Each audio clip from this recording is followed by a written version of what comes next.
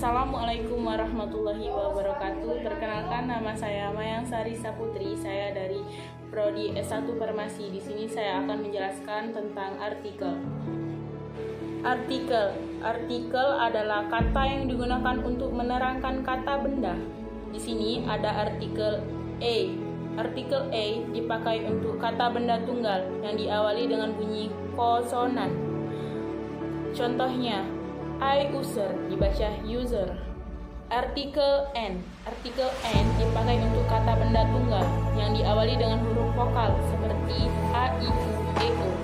Contohnya, n umbrella, n egg, n aktor. Artikel d adalah kata benda tunggal atau jamak yang spesifik atau khusus. Contohnya, this is the cat. Indefinite article.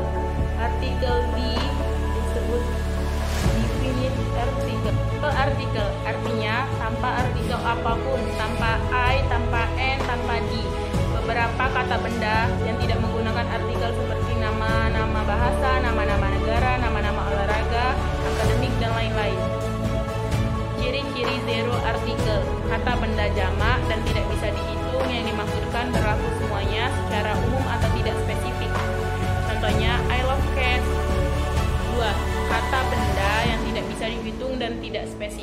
Contohnya, I like drinking water. Sekian penjelasan dari saya tentang artikel. Saya akhiri wassalamualaikum warahmatullahi wabarakatuh. Thank you.